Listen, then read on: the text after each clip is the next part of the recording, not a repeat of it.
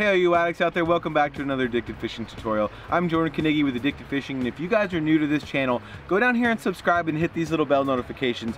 Our goal here at Addicted Fishing is to educate, entertain, and inspire you, the angler, to go out, catch more fish, watch awesome fishing content that we come out with every single day and fishing all over the world and also educate you on how to go out and catch your own fish and make you a better angler. Today we're going into a little education piece and it is how to choose twitching jigs to catch coho salmon. So stay tuned, we're gonna bring it to you right now.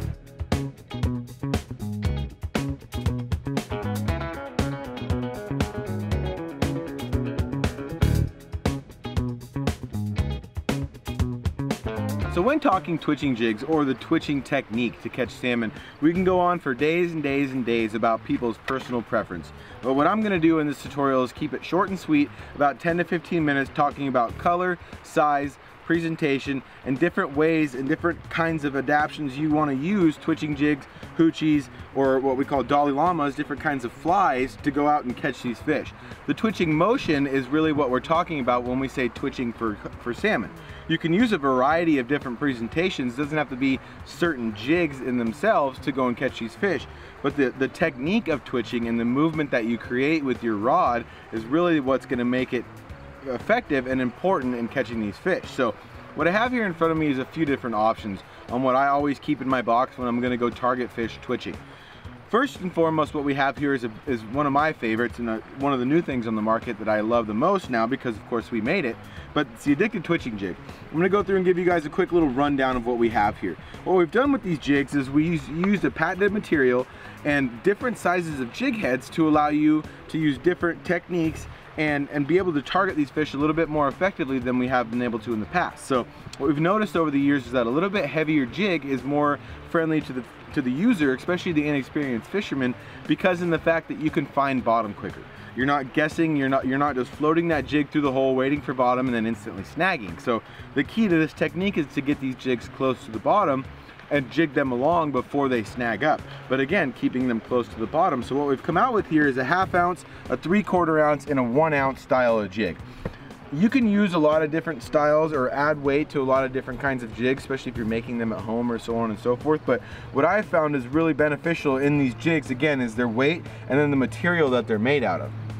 The material is more like a bucktail. It has a lot more resistance against the water so it falls slower being able to have that jig go up and fall down and be able to stay in that zone in front of those fish is crucial, again, to kind of endure that bite and, and make those fish react to your presentation. So the Mustad twitching jigs by Addicted Fishing are my personal favorite, but what we have here next to it is a few other options on things that you can use that are just as effective and, and just as user-friendly, but have a little bit different presentation style. So what we have here is again, more of a rabbit fur presentation. This is a little bit more common, a little bit more old school in how these jigs have been made for years, and it's using some kind of artificial fur or marabou, which is, or is uh, feathers of some sort to tie these jigs.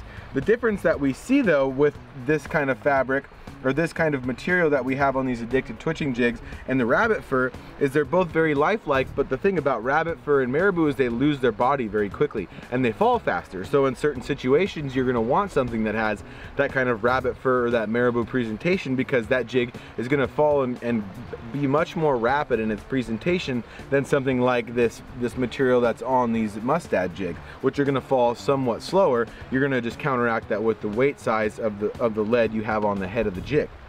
So, marabou jigs and different kinds of rabbit fur jigs, again, add a little bit different presentation, so it's key to have those in the box with you at all times to be able to switch back and forth, given you're noticing some sort of different reaction in the bite of those fish.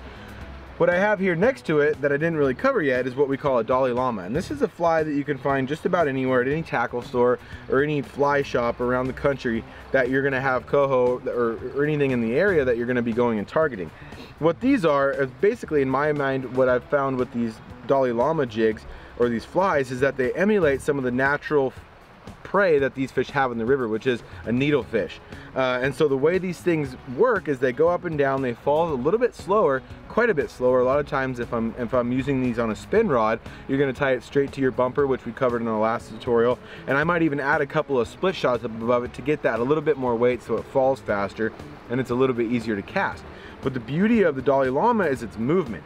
And that movement of, of allows you to not have to jig so much and allows you to give a little bit more of a delicate presentation and considering those fish are looking for something a little bit different that day as far as speed of your presentation.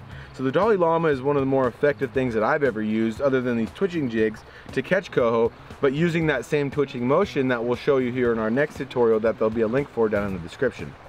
So Dolly Llamas are a great option, but again, having a good versatile round of, of jigs is gonna offer you different presentations to those fish within the given conditions. What I have here next to it are some hoochies. Now hoochies are probably one of the oldest school tricks in the book for catching coho salmon and they are just a plastic that you use either on a jig head or it might even put a bullet weight inside or even just put on a hook behind a spinner or so on and so forth.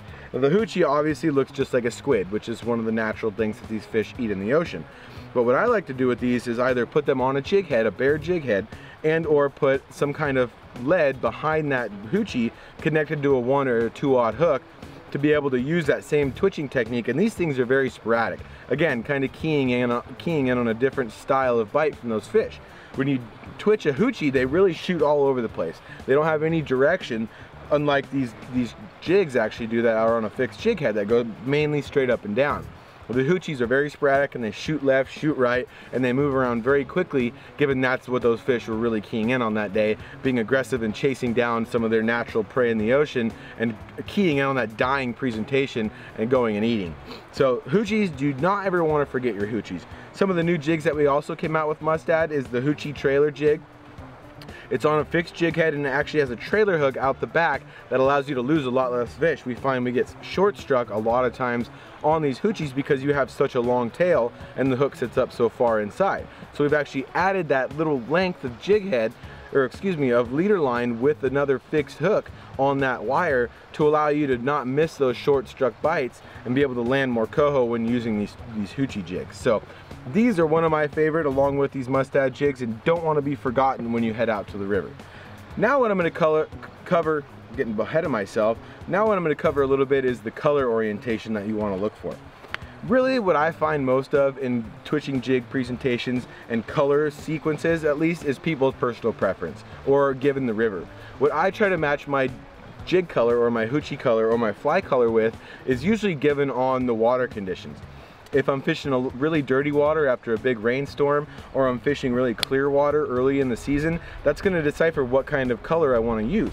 A lot of times your neutral color, your go-to alma mater colors are gonna always work given the condition.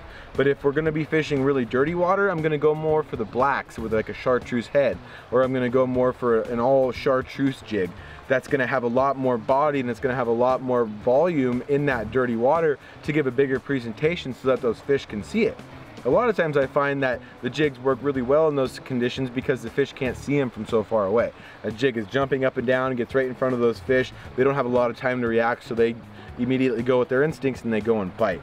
So given that different water conditions, if you're going clear and you're fishing very clear water, I'm gonna go with some of the blue colors or maybe even a pink. Some of these pink jigs like so really offer a little bit nicer color and it's not quite as a, a big of a disturbance in the water, doesn't give off as big of a profile in clear weather or sunny weather. But if it's gonna be dirty water and very dark and turbid water, I'm gonna go with the darker colors like the blacks with the white heads or the chartreuse heads and the greens and, and again the blacks are really one of the only colors that's gonna give off that volume of body in that dirty water. So having different colors in your box is crucial and you'll find your preference over time or meet people on the river or be able to watch some of these tutorials or even our addicted lives that we have on our channel addicted fishing where you can see the different colors that we use given the certain conditions so What's best is to go out, buy a variety of different things, some cheap, some are a little more expensive, and have that variety of, of of tackle in your bag with those sequence of colors kind of covering that spectrum of the rainbow so that you can use different presentations in different kind of water conditions. So I hope that really helped you guys a little bit kind of figure out the kind of jigs that you want to use. Each of these have their own adaptation in each kind of fishing scenario. So if you want to learn more, be sure to go down again, like I already said, and subscribe and hit this, uh, this bell notification over here so that you guys can see the next couple tutorials that we have coming out covering these twitching jigs. The next one we'll put a link to in our description down below here. It's going to go through and I'm going to actually show you guys the techniques of fishing a twitching jig. Before the first video we started showing you the rod reel setup and the type of water we want to look for. Now we're covering colors and types of things you're going to put on the end of your line and after this we're going to go through and actually show you the technique and the casting styles and the twitching style you're going to use to effectively fish with all these these sort of presentations. So I really hope you guys learned a lot today and enjoyed this tutorial. Again, be sure to go down and hit that link in the subscription so you can see the next video coming out here tomorrow. Thank you so much for tuning in, guys. You stay fishy and we'll see you out there on the river.